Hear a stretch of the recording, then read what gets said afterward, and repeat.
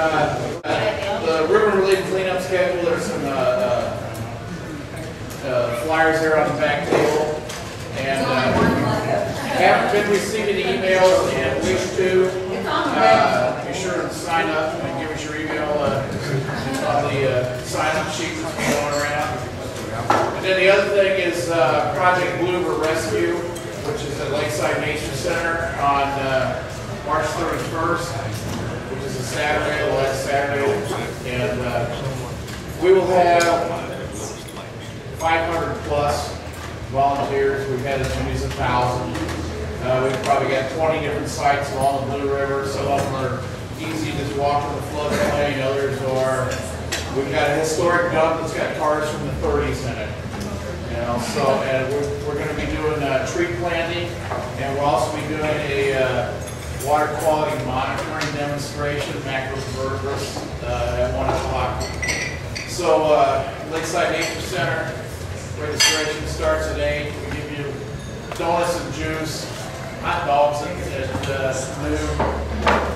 Uh, if you wanna spend a little bit of time, come on out, If you spend all day, come on out.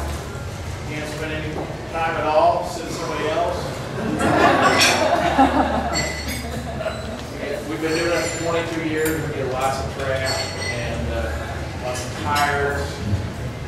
And, uh, have, always had a good time. So tonight's presentation is, uh, you know, we always hear about Lewis and Clark, but, uh, Jim Denny, uh, retired from, you guys read the email? From DNR. Thanks a lot. And, and, uh, uh, author of, uh, uh, several books, is, uh, gonna talk to us about, uh, Lewis and Clark and before. Some very interesting stuff, uh, from the Spanish explorers and, uh, areas where, uh, dragons used to be. And, uh, we know that. So, without further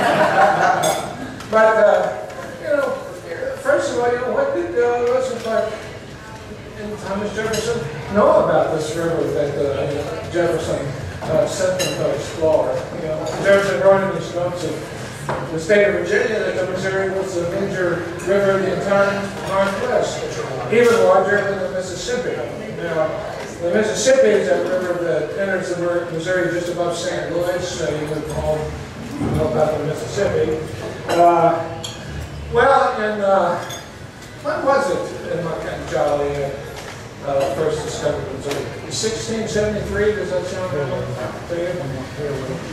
Good, good enough for government work, I used to work for government. Uh, but uh, Marquette and Jolliet, they, of course, were the first Westerners to gaze upon the Missouri River.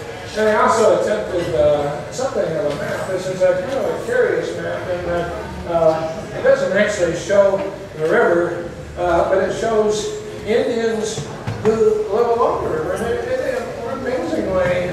got it right. I mean, here are the, uh, Am- the Missouri Indians there, uh, um, and the Osage, so, you know, that's kind of, you know, uh, a couple hundred miles up the river there. Uh, the Oto, uh, the Pawnees, uh, the, the Omaha, you know, they knew all these guys were up there. They just didn't exactly know what that river that they lived along looked like. Uh, and then by the, uh, uh, 17, uh, late 1720s, uh, uh, there were family who actually kind of create a map of the Missouri River, and this is one of the earliest ones that we have, again showing most of these Indian nations. And, and, and this was time the Missouri River was a very convenient place. I mean, here are the Rocky Mountains, and very conveniently they stop and allow the Missouri River to pass. Uh, something called Northwest Passage. Think. Uh, so, uh, and by the time, you know, the Lewis and Clark went up the river, uh, they had the best map that was available to them. Uh, this was a map that was done in 1795 by a man named James Mackay. And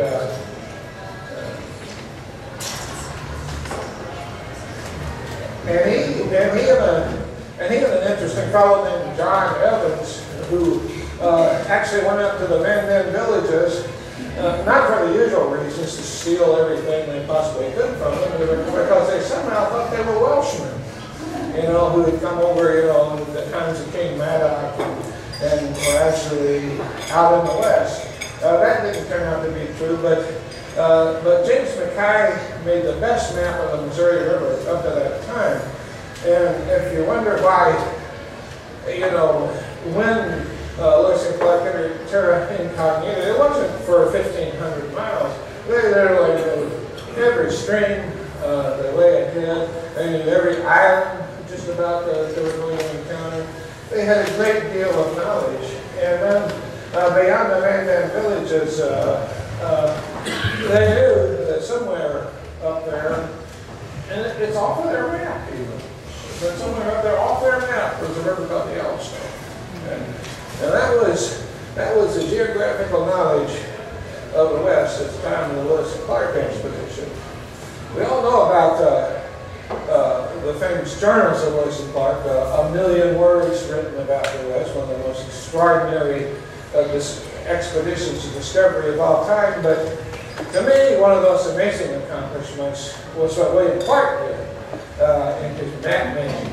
Uh, we, go from a map like this, and then when William Clark came back, he drew by hand this map of, of the Missouri River as he understood it. This only, uh, uh, and so he just literally uh, produced one of the greatest uh, cartographic achievements uh, in history. Uh, this map was drawn in 1810, and by that time he was in charge of the Indian affairs for the whole Missouri River Valley.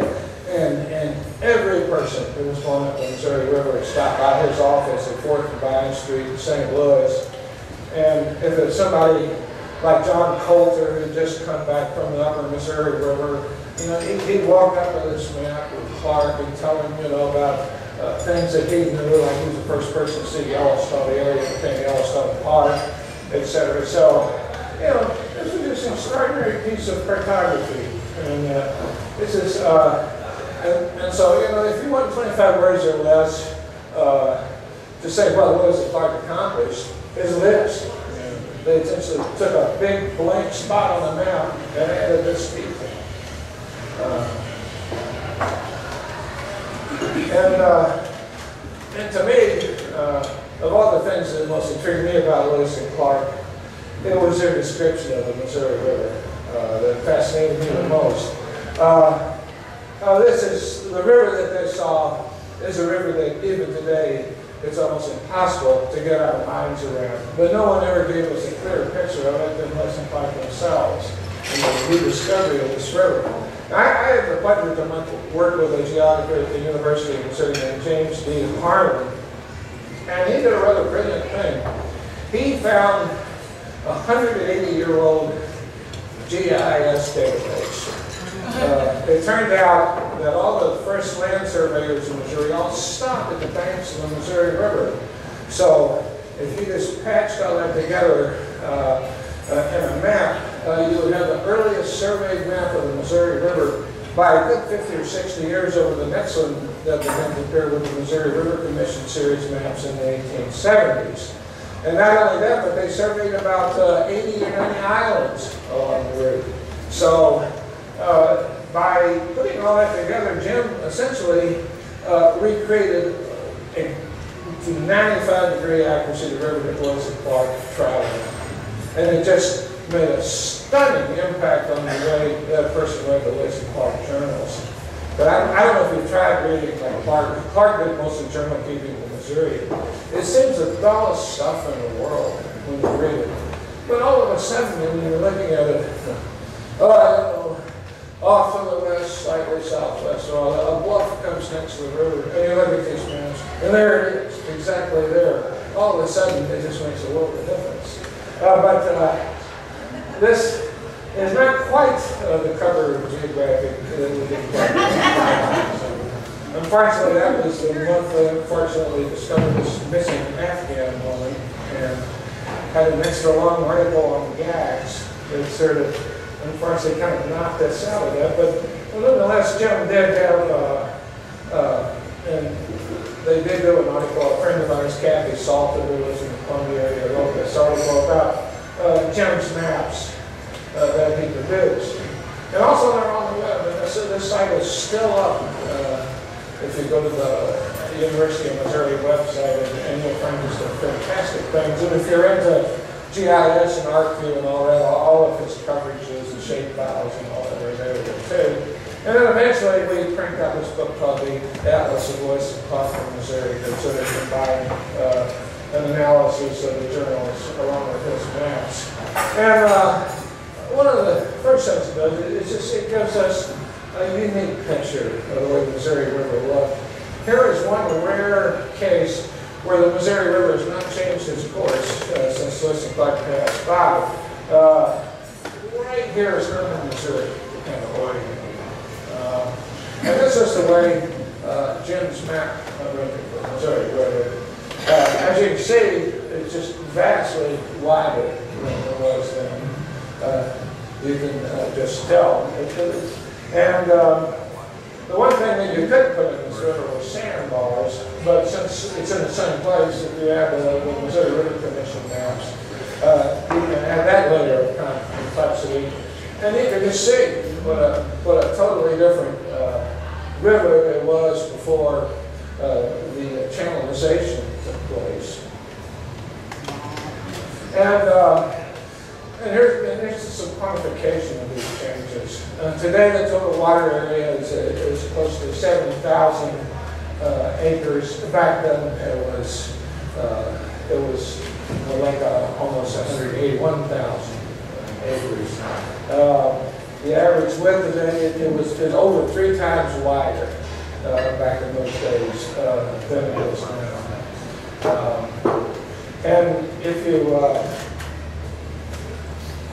and it's such a, that was such a nice slide, it showed it twice. Oh, I'm doing something.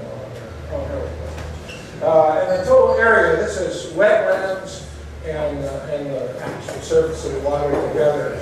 And here's just where you can see the profound uh, losses, you know, just a profound ecological disaster uh, that the channelization of the Missouri River ended up being in terms of just the environment and the habitat uh, that was lost as a result of it. Um, and, you know, you think the Missouri River is money today, you know, but Lewis and Clark even investigated that. He said, you know, that the water we drink, uh, you know, contains a half uh, a glass of slime, you know, for every full wine glass. You know, that's how much a pint of water, that's, that's how much ooze will will uh, sift out of the kind of water. The water back then was very cool because it came from the Rockies and it had a very earthy, kind of gritty finish to it.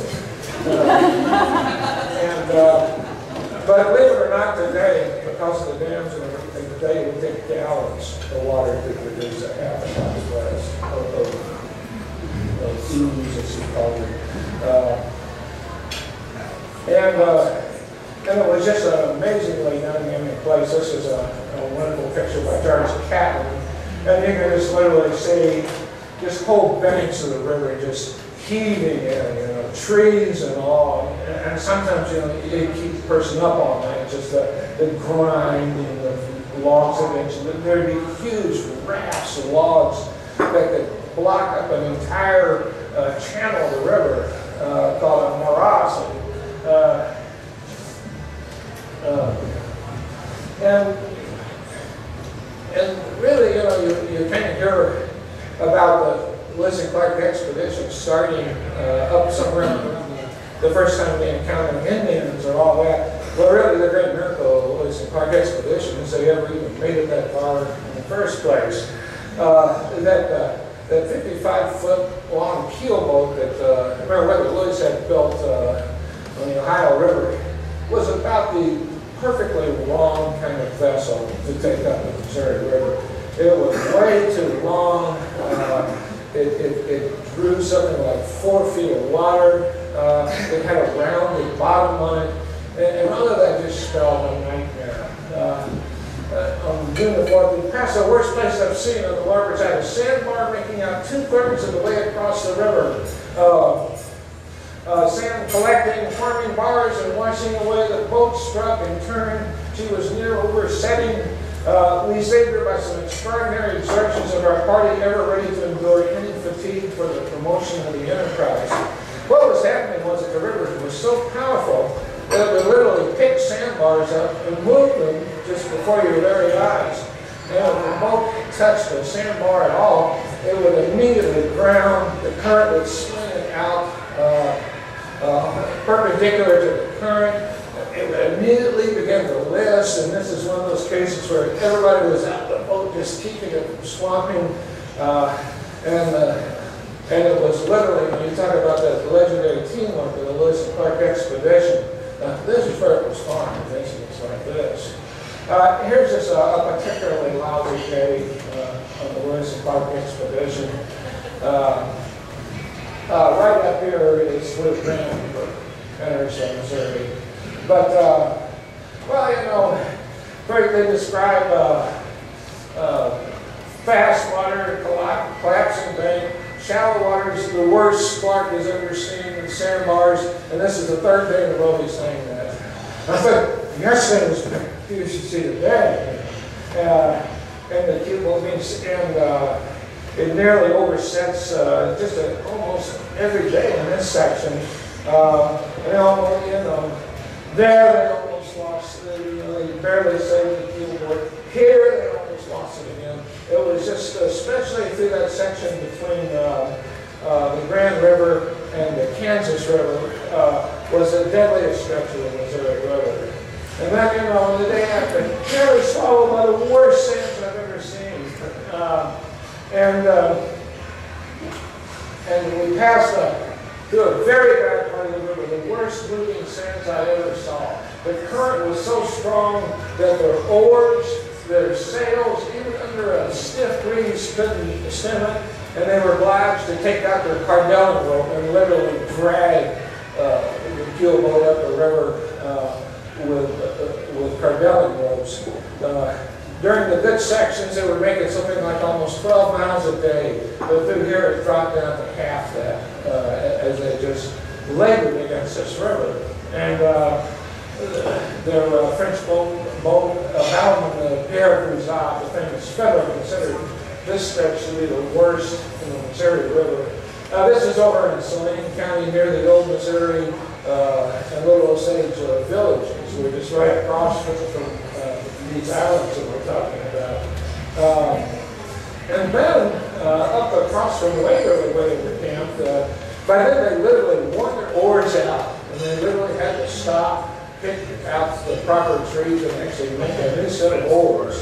Uh, and during this time, Clark decided to measure uh, the speed of the Missouri. The first guy to ever do this, and, and he came up with a figure of 23.66 miles an hour for the current. Now, people just don't believe this, that this is even possible.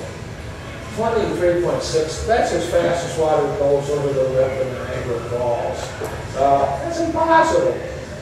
Uh, uh, but, uh, you know, uh, that was not the only measurement that Clark made.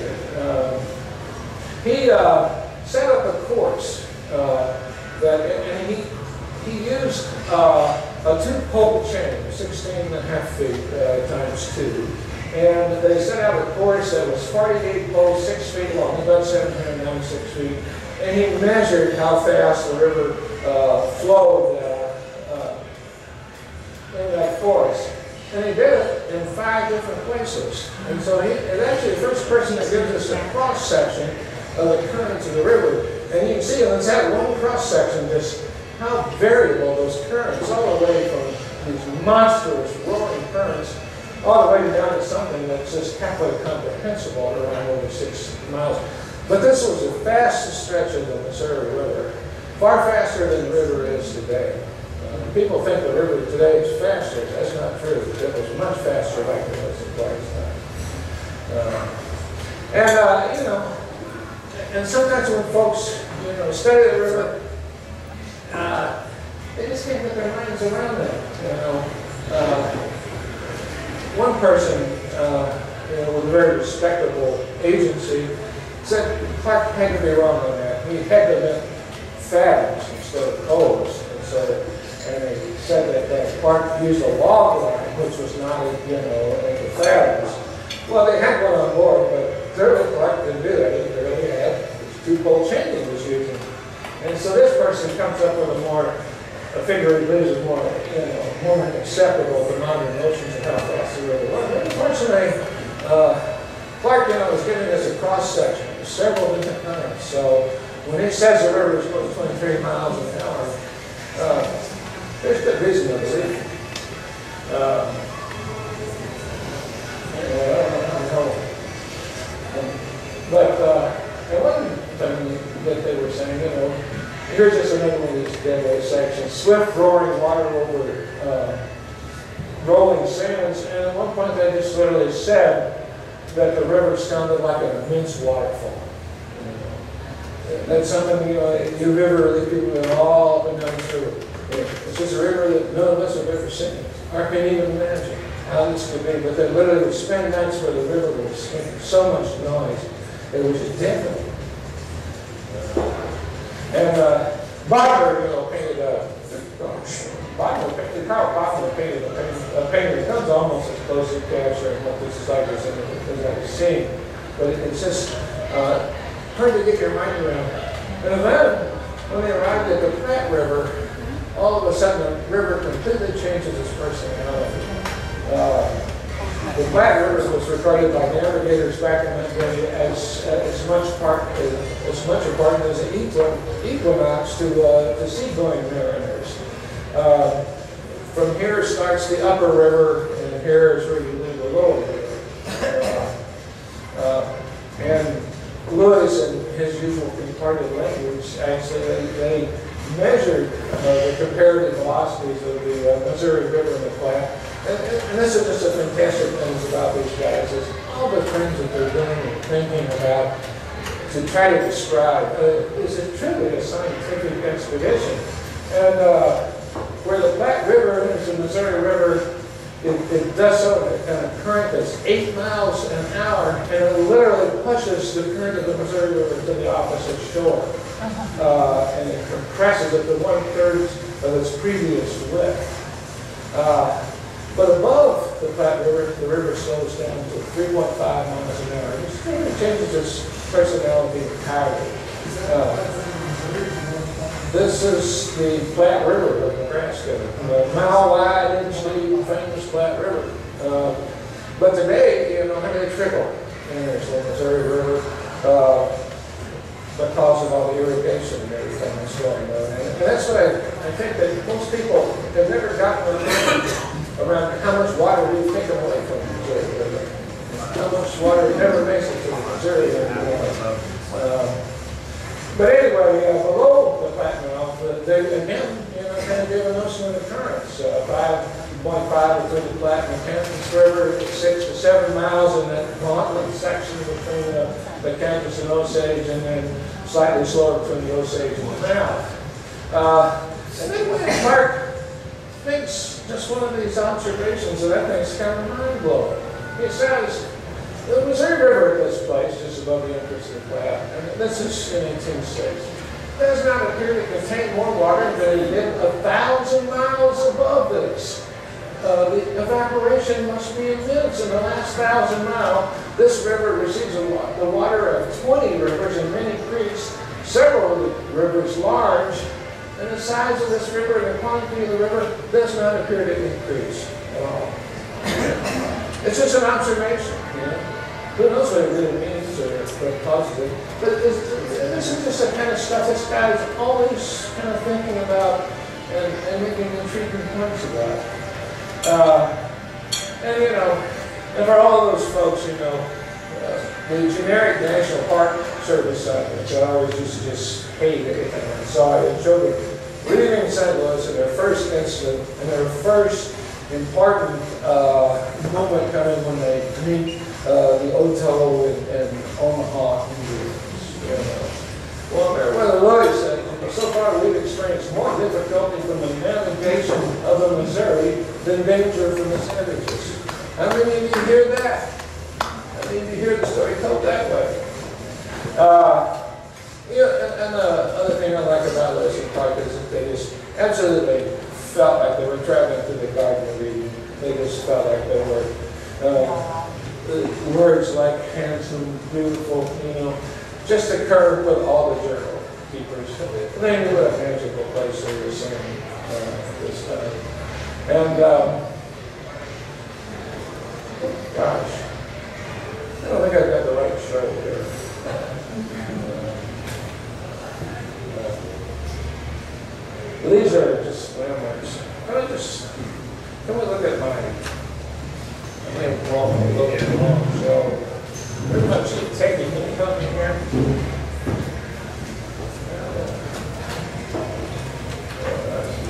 Can we, can we look at the, you know, let me, let me set me this thing.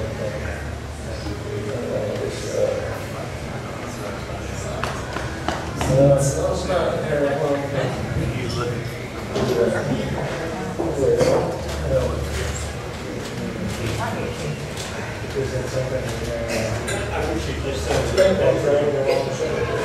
Let's how about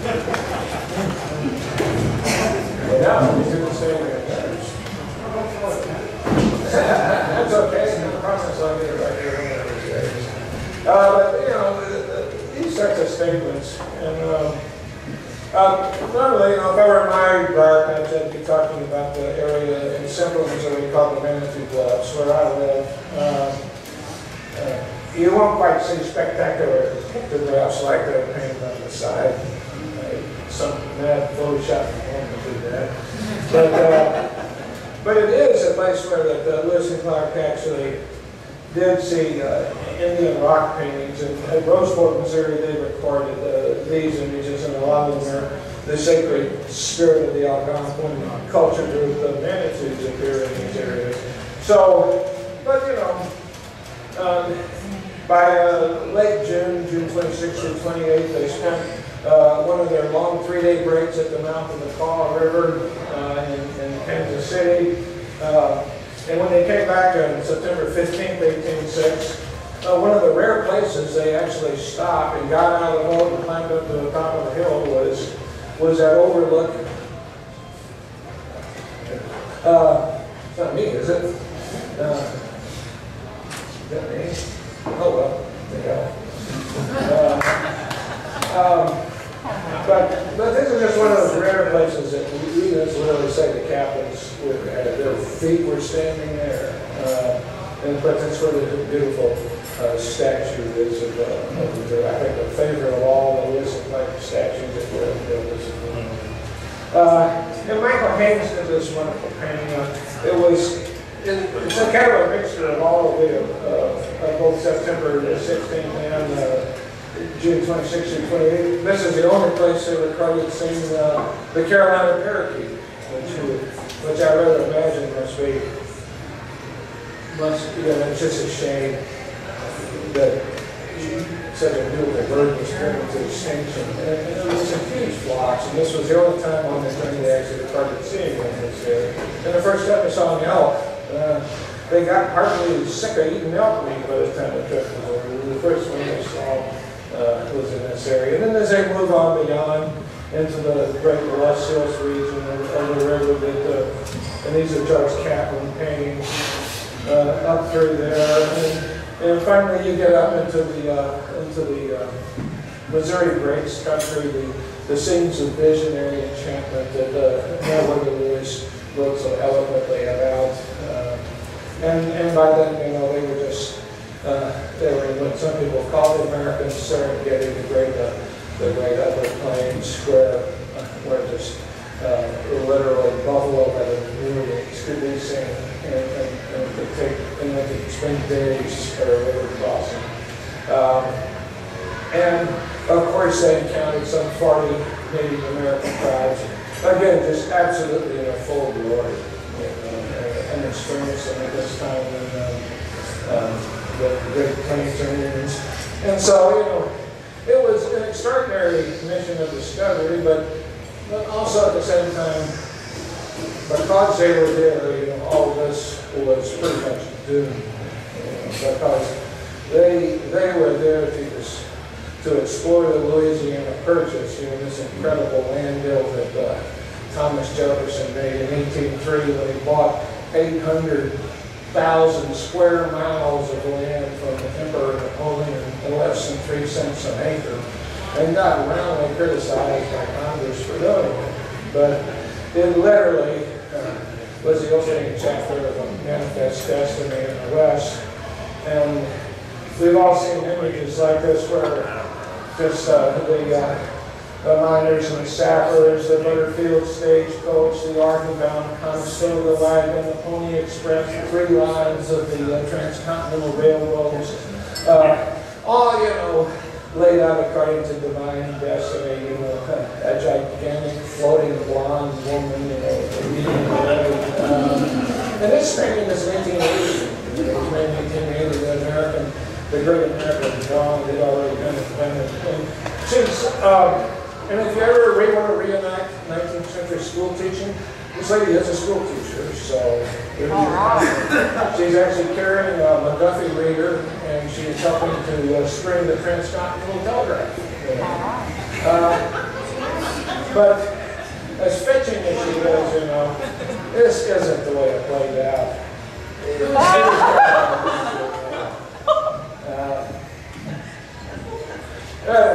It was, uh, but as a result of these processes, know, all millions of buffalo as far as the eye can see, replaced by millions of cattle as far as the eye can see. Yeah. Uh, and uh, we're just going to kind of move onward you know, from the river and the world that they experienced to the river that we have created since then. Uh, and uh, of course, you know, we've all seen these paintings by Gary Lucy, a phenomenally talented artist who lives in Washington, Missouri. Uh, these spectacular uh, steamboats of this era, you know. Uh, and, you know, I was kind of leafing through my photographs, and, and they are indeed uh, spectacular. Uh, something are weird, you know, uh, you, you know anything about the shoe guy that used to come up and down the river? But, you know, that river was hard on and They didn't look like beautiful Gary Lucy babies. Mostly these boats looked like they'd been rowed hard and put away to wet. The average life is seldom more than five years long. And, uh, and the number of boats uh, that sunk in the Missouri is just phenomenal. It's up in the hundreds. Here's just uh, the first plate from the mouth. I don't know how far this goes, but but, it, but there's about another six or seven places, and they're all just chock full of steamboat wrecks. Here's up around the Kansas City area, and I think that's the Arabia there, of course. If you ever want to know what these steamboats were delivering all these folks out in the West, you just go to the Arabia Museum and see what the finds. Um, and, uh, and, you know, it was the desire to make the Missouri River more navigable that, led to a great movement. A lot of it was in Kansas City. A lot of the promoters for improvement of navigation and improvement of the Missouri River uh, far uh, riverboat traffic uh, began you know, with, with the slogan Kansas City to the sea, you know. And the vision was this great heartland inland waterway system going up the Ohio, going up the uh, Illinois, all the rivers that empty into the Mississippi, the Arkansas, and the Missouri, all of, all of these rivers navigable. All of this a great uh, interlocking system, you know, that would elevate this region, you know, to, to uh, world commerce and be the basis of our prosperity. Uh, this was a vision, you know, behind uh, the, making the Missouri River navigable. Uh, and uh, essentially, the vision to do this uh, was first articulated in the 18, the 1880s by an Army Corps of Engineers colonel named Charles Suter. And Charles Suter came up with a plan for how to peg the Missouri River down and make it navigable. Uh, this is a river before you know the, the, navigation work starts. And as one promoter once said, about all Missouri River is a good far now is it for a despondent farmer to commit suicide. uh, but uh, what he did was by a series of pilings uh, extending out into the river, uh, along with either woven mats at first, but finally rock to keep banks from washing away, he constricted the sides, sides of the river uh, to what it is today from being something like 2,000 feet wide, you know, and was once 3,600 feet wide. Um, and, uh, and also during this, they pulled up the incredible snags that had been lodged in the river over time. There was such a snag that took the Arabia down. Sometimes they could pull snags out as big as houses, you know, with these great snag pulling boats. And then they would build these dike, uh, uh, these dikes out into the river, and, and, and the river would silt in around them. And, and that's what narrowed the channel of the river. And the same time it silted in, it directed uh, the speed of the water out towards the middle, and it dug the channel down. And the dream was to have a nine-foot deep navigation channel that went all the way to Sioux City. That was the dream that they were trying to achieve. Uh, and so here you can see it happening. Here you can see the modern river being born. You can see all the land silting in around those dikes to the point where all, these dikes were invisible clear up until the flood of 93. And after the flood of 93, you, you could, uh, they, they, all washed out again. You could, you could see lots of these structures still there. And so this produced uh, the modern river that we know today. Uh, and here's a kind of a graphic of what happened. You had all of these systems of, of wetlands, along with a channel with, with many different side uh, chutes is what they call them. It, it, wasn't truly a braided channel, but would have a main channel and then channel, side channels that went around islands. And so they reduced it from this to essentially this ditch that you see these techniques. I mean, it's a beautiful. You know, it's, uh, it's certainly still a great joy to be out on it, as you all know. Um, and then, you know, we come, you all, I guess y'all know about the Pick plan. No? Uh, well, you know, it's the basis of everything. Uh, and it's, the, Pick Sloan plan is the unloved child of the Flood Control Act of 1944, which was a very ugly old marriage, this marriage between William Sloan and uh, General Lewis Pick.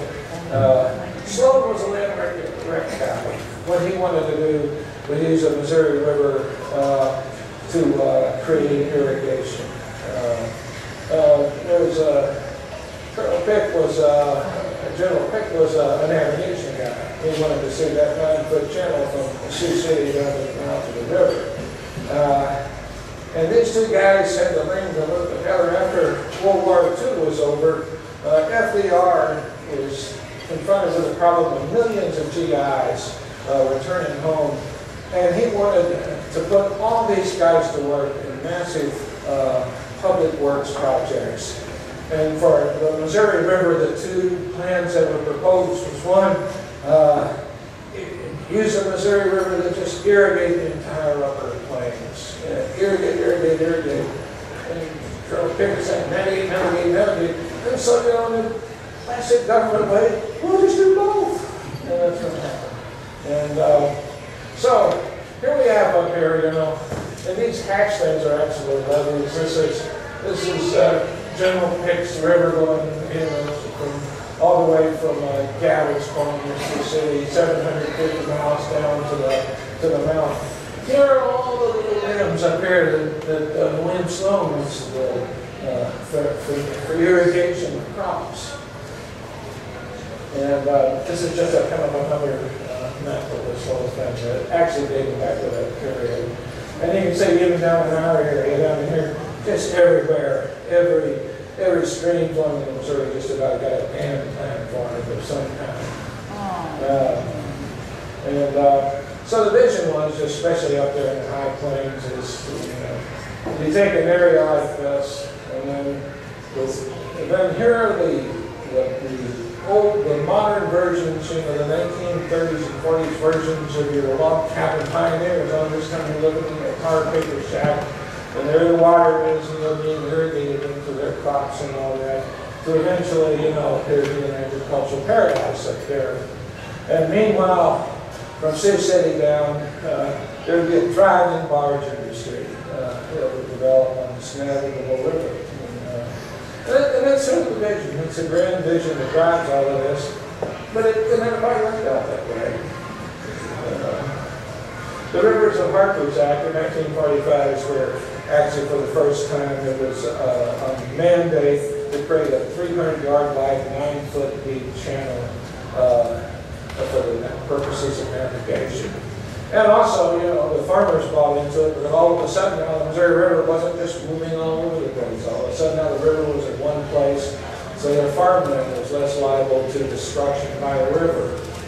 Uh, and then, you know, to uh, facilitate the flood control, they built uh, about six mainstream uh, dams uh, above Sioux City, starting in Gavin's Point and uh, going on up through Big Bend, where the Great Bend of the Missouri River was. And, uh, William Clark took days to get around, even though the neck of it was only a few miles wide. Uh, and, and, and the various mainstream ways uh, that can continue on the Missouri River. Uh, I like the fact that the picture here is little faucets. on and off. Uh, unfortunately, this summer, all these little faucets were on as much as possible. Uh, and anyway, it's as and as the Missouri River watershed uh, was, and this is also the bulk of the Louisiana Purchase country. Uh, there's amazingly little water in the Missouri, comparatively speaking. Uh, this map is based entirely just on volume of water, and, uh, and the Missouri River has, uh, of course, way, way less than the Mississippi, even less than the Ohio, and even less than Illinois. Uh, and the big dilemma for the Missouri River has been that there has never been enough water in it for both Mr. General Pick and Mr. Sloan. We couldn't do both things. Never have been, and this is what we've been arguing ever, ever since. So, uh, and this is just a, a little stretch. I'll, I'll come back at the end a little bit of and Sloan, but, uh, you know, thanks to you guys and all the work you're doing, uh, there's been an amazing growth of awareness of the Missouri River and even the notion that the river is actually kind of a fun place to be out on, you know, and a beautiful place. Um, that it, the, the life of a river rat isn't bad, you know. It's usually a very small scale. There's a small john boats and, and, uh, and, and sometimes with fiberglass boats for folks trying to escape the lake of the Ozarks and other places where the waves that are coming too big. Right. So it's set kind of low level, but, but still very popular, especially when the sandbars are out, which unfortunately they haven't been for the last three or four years, but that may change. And then, uh, uh, talking about steamboat wrecks, here, here's a monument to the one Mongoose wreck. So, uh, uh, this place called Bogans near uh, Cooper's Landing uh, in our neck of the woods. Uh, and an old lady, uh, man in the fort town, Mr. Catfish uh, Scott Milton, uh, was responsible for wrecking of these boats. Uh, and you know, and my friend Brett Duffer at Rocheport actually uh, started a, a kayak and canoe rental business in Thrive for several years. Uh, it was a growing business until all this high water came along. Uh, and there's even a, a gentleman who's written a, a guidebook to paddling the entire Missouri River. It's a, a fascinating thing. I uh, maybe we got to write a little thing for the dust jacket, even though I've never tried anything like that myself. Uh, Did you go that way? What's that? Did you go that way? If I can change the whole show, I can sure go back. It's by Dave Miller, David L. Miller, the complete paddler. Uh, a guidebook, and it takes you all the way down, it takes you all the lakes. You know, quite a, quite a thing to read. Modern day and Clark out on the Missouri River. Uh, And, um, and then, you know, this is just one of the most exciting times in general, uh, and probably in the last several decades, to be living beside the Missouri River, just because of all the interesting uh, sorts of projects that are afoot. Uh, the Corps of Engineers has got various different kinds of mitigation projects, or the U.S. Fish and Wildlife Service, in some cases Department of Conservation. They have something going on for huge stretches of the river these days. And, and here is almost an idealized vision of what the river could be. Uh, this is uh, Eagle Bluffs in Boone County, but, uh, but the city of Columbia was originally going to, to run their wastewater in a giant 10-foot pipe straight into the Missouri River, but then they changed their mind and tried to do these wetlands where you have natural filtration back tails and such. And so they're trying that to, the city of Columbia's wastewater is being run through several of these wetlands. And then you have the Eagle Bluffs Conservation Department wetlands, which are now a major stopping point for uh, millions of migratory birds. We live right across it, and you can just see geese by the tens of thousands driving out of this place. And every once in a while, you know, a, a trumpeter swan will show up, and all the bird watchers just go crazy and go down there. Uh, and then you've got the Katy Trail along it. So, this is almost a, could pass for uh, an idealized vision of what the river management could be. Um, and um, one of their bolder experiments was to try to create a, a new chute to get the river back to the complexity it once had. Uh, and they created this chute uh, near Lisbon Bottoms, uh, of. Uh, the big problem was that too much water started flowing through it. It looked like the whole river changed its course, so they've been fighting that for a while.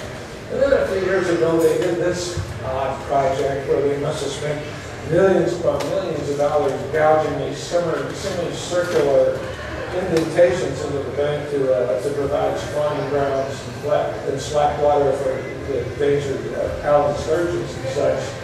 And I don't know how much money they spent on this but you can't see a trace these things. They're totally, uh, I know, it's somewhere along that stretch. Uh, and I, in my stretch of the river, you know, they just did this. I mean, you can't see a single bit of evidence of it. Uh, yeah, but you know, when you, uh, there all these talks about least terns and, uh, Howard Sturgeon, uh, et cetera, you know, for, you know, some of us folks who live in the lower river, all that is is just William Sloan wearing bird feathers. Uh, it's still the same fight over whether we keep the water above the dams or, whether we let it go. And one argument that we have, you know, it's, it's admittedly hard to argue that we've got a vibrant towboat industry. In fact, I mean, I literally rarely see towboats go by anymore. I think there's only about two or three that even run the river anymore.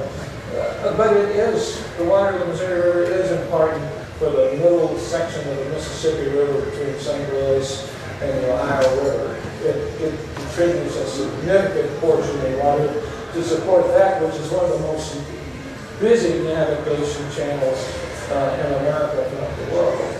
So, uh, we're in a continuous battle. Sometimes, you know, it'll be passing in terms of protecting endangered species, you know.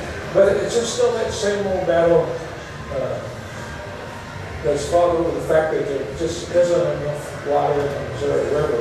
And for us down here, it always works the exact opposite of the way they want it. If there's too much water up north, then they dump it on us exactly what we don't want.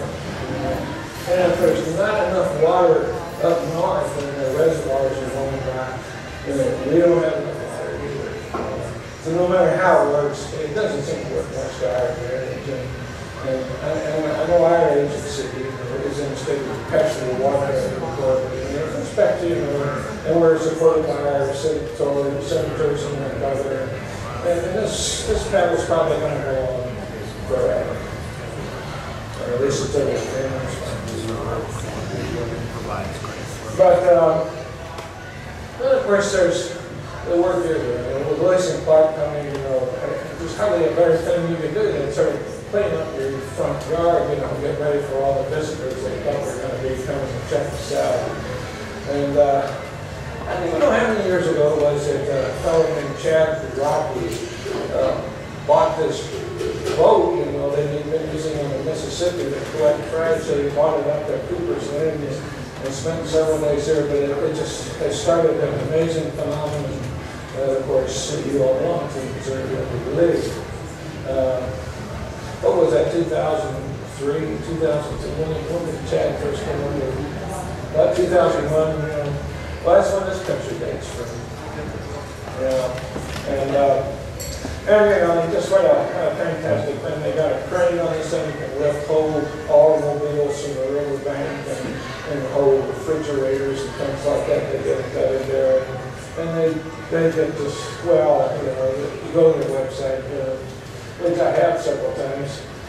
I, I- when I first started doing this back in 2005, that's, you know, this was, they had uh, over a thousand volunteers and 41 tons of trash, et cetera. Well, you know, these numbers are just gone through the ceiling, since it's just uh, phenomenal. How many tons of trash they pull out of this river, how many cleanups they're done, um, and the length of them uh, throughout the whole navigable extent. All of this is happening.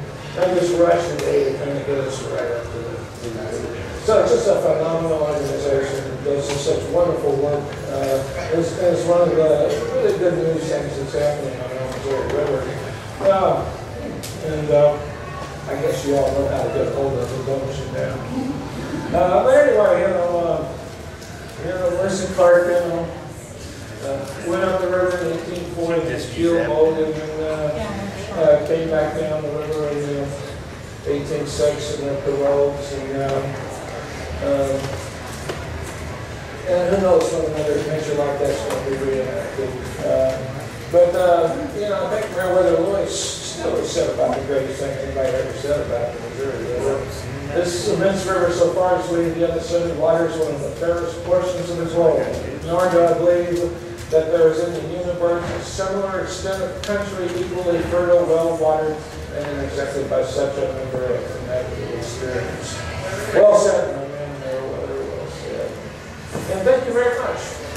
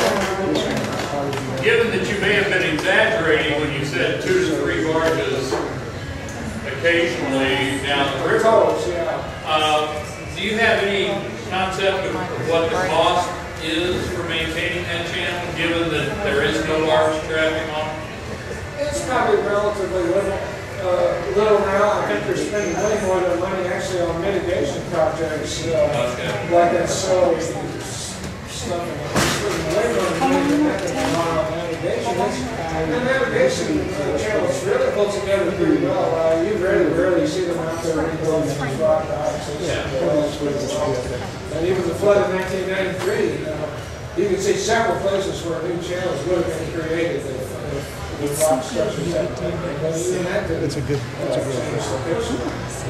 So it's relatively inexpensive to maintain the river, and again, you know, there's a tremendous, uh, uh, uh, supporting group in agricultural and other groups that that live along the river.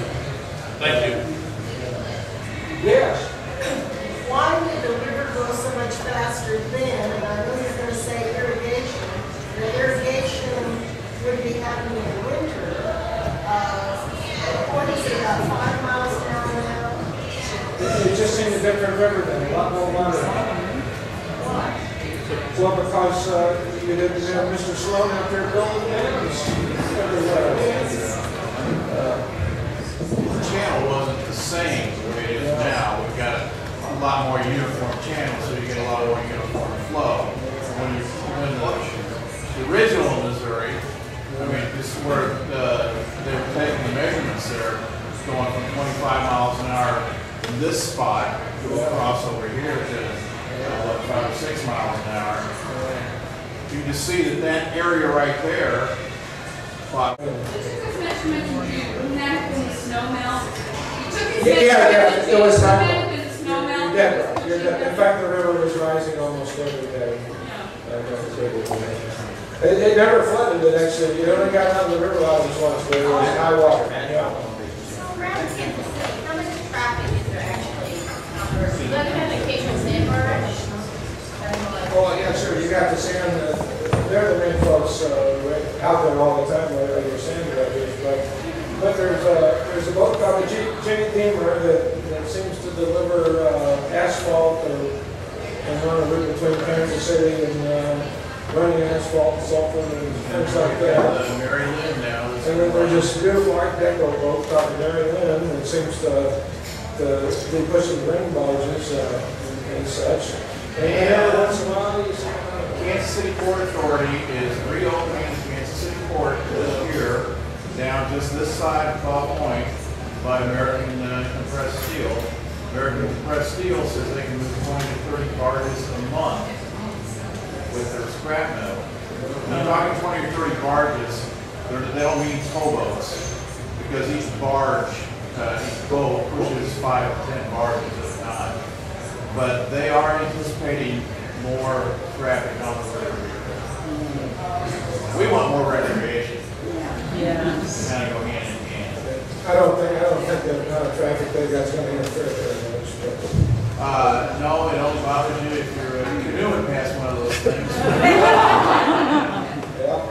It's totally different being on a river when the barge goes by than being on a lake because the wake hits the banks and then comes back and you, that barge will pass and you will still, you will get slammed if you're out in the middle of the river. Going down to Mississippi on a, uh, you didn't think that he might really that much. She almost got killed the last ten minutes before it. I, I go to church with the guy that was running the bar. And there were people, I think there was one person who got shot under a bar. Just looking to come out. Yes, ma'am. Do the barges have to operate seven days a week? Uh, twenty-four hours a day. One time I was working on a towboat, and I just, at one o'clock in the morning, I just woke up, just, you know, because the motor stopped. You know, like vibration, you know, those boats run, they have to run constantly.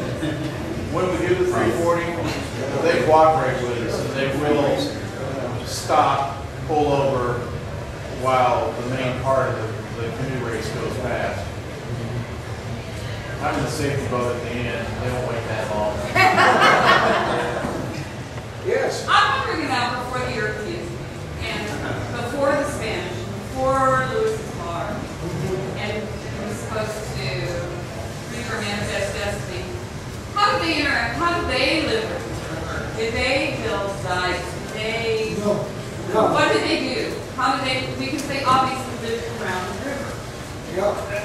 Well, you know, down, down in our area, they have dugouts, they just dig out trees and use such a travel up and down the river. Uh, Up by the Mandan village, they made these weird things called bull boats, you know, out of buffalo hides that they use, but they use the river to travel upon, and they make war on each other, moving up and down the river, they, you know, uh, they use it as a major highway of commerce. Uh, Indians were continuously interacting with one another in a variety of ways, so there was a lot of. Uh, did, there was some between kind of- Missouri and Mississippi and Illinois and Ohio? Did they- some kind of network going on, I mean, you find trade goods, you know, all the way from Mexico, you know, sometimes, so there's vast trade that goes on. And certainly took Mississippi and Missouri tribes, there's definitely was. Yeah. To add to his question, last year's budget, there was six point seven million dollars spent on what we know, Yeah, and seventy-six million dollars spent on fish and wildlife, like mitigation. Yeah, yeah. Um, yeah. Really since the mid nineties and, and this decade, or the last decade, I should say, the priorities of the river have really changed. That's right. Irrigation, yes, environmental, irrigation. absolutely. Uh, and that- The management of the dams is quite a bit different, or it was. Yeah, yeah. Changed. Um, it- It's really changed in the last few years. as far as the- Yeah, yeah, the way, the way they run the river is with something called a master manual, and there's no source of controversy over changes to the master manual, and there have been many lawsuit cases of, to determine whether these changes violate the spirit of that flood control act of nineteen forty-four. Uh, I guess you can read that thing online, can't you? There's uh, currently, there's actually eight authorized purposes that they're supposed to be managing for. Uh, And there's currently a uh, study going on, uh, which has been put on hold this year because uh, all the money's going to rebuilding levees. But uh, they've been doing public meetings up and down the river uh, to see how people want the river to be used now. What will actually come out of that, uh, we don't know. You know, going to some of those meetings, you hear all these people that seem to be at polar opposites, but when you really get down to it, a lot of this stuff is dependent. I mean, you're not gonna have recreation and boats, you know, you won't be able to take your boat out if there's no channel for it. If we had the river the way it was back before we did the navigation program, there, basically wouldn't be anything but a little bit of uh, recreation in specific areas. But, you know, uh, there's not much recreation here in Kansas City, but when you start going upriver, you get to Omaha, they've got, a- they've got a marina downtown. Uh, and, and farther up, there's a lot more, uh, personal recreation on the river and fewer barges. Even in St. Joe, you know, uh, in, in Kansas City, there's actually, uh, Kansas Kansas has had a plan. Uh, the Port Authority has a plan, at uh, Berkley Park and Sugar Creek has a plan, all for marinas. Those plans have been in process for a long time, if they ever happen, you know, that- that's something we try to work towards.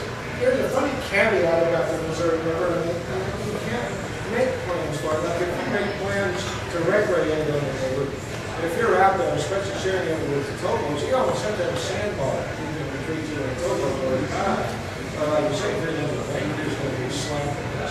Well, that's, that's where a lot of those dikes come in handy, But, uh, because but, you know, and they make great party islands, you know, nothing better than a river island party. But, you know, for the last four years, there hasn't been a sandbar visible because the river's just been running back full. They don't go through cycles like that. And now it's like, it, it put the, it put the rental guy in Rocheport out. It's, you just can't predict what the river's gonna do. It's gonna go through uh, wet cycles and dry cycles, and all that's gonna profoundly affect. I've seen it happen about three or four times back in the nineteen eighties. There used to be enormous parties on this one island, over Island, with big boats lined up three rows thick. Uh, then the water came up during the nineteen nineties, that whole crowd just vanished, never saw them again. Uh, then in the nineteen nineties, a new crowd started coming out there, and now they're all gone. So, it's a funny thing, this river. It's not predictable, and you can't make plan long-term plans. Yeah. Do we know what the projected revenues are for that, that barge traffic compared to recreation? I don't, uh, you, uh, you seem to, you, That if they do get the additional thirty-two, you know, would it be significant compared to the loss of uh, Well, it is for people that are using the barges. It's like the company that gets the asphalt uh, delivered by barge up here. You know, it- it is a significant saving as as opposed to hauling it by truck. Uh, But there are lots of considerations with it that you don't get with a truck. Mainly uh, flow, flooding, you know, you've got as much water that the, a lot of the river, especially from here upriver, uh, was closed all summer. And uh, the flow was so high that barges couldn't make it up anyway. You know, that's another thing about controlling the flow, uh, because the barges have to, it's, it's easy enough to go downriver, but you gotta be able to come upriver and, you know, at an economically feasible rate where you're, you know, not burning all your fuel every ten miles, so it's, it's a trade-off. The original feasibility study estimated 80 million metric tons being shipped by barge up the Missouri River. It's never exceeded 8 million. So it it was vastly overstated. But what most people don't realize is the navigation project wasn't just for commercial use. You have to remember when this was done. This was right after World War II. They're in the height of the Cold War, and there are significant military uh, resources in the basin. And so the navigation was as much for military navigation as it was for commercial navigation. But it's kind of a dirty little secret of the Missouri River. It's not talked about, but that was one of the driving impetuses for doing the project, was to be able to get warships up the Missouri. But they didn't want to say that to create hysteria during the Cold War. But it is documented in a lot of the uh, inside documents within the Corps of Engineers that this was the main driving force for having a nine-foot navigation channel. You don't need nine feet for a barge. You don't. You need nine feet for a warship. I've not heard that before, but it sounds like something like that. And another thing, all the flooding this year, The real problem with this year's flood wasn't the amount of water. The problem was where are levees? The original Pick-Sloan project called for the levees to be five thousand feet apart from left bank to right bank. But Congress never authorized the funding to build those federal levees. So instead of a five thousand foot wide flood channel, all the levee districts that are formed along the Missouri River, where are those levees? They're right on top of the bank. They're not five thousand feet apart. So now the river just goes up, and keeps going up, instead of coming up, spreading out, before it can go up again. Flooding is much worse, you know, than it used to be. It took much less water to three than fifty-one. Yeah, that's right. That's right. About three hundred fifty thousand cubic feet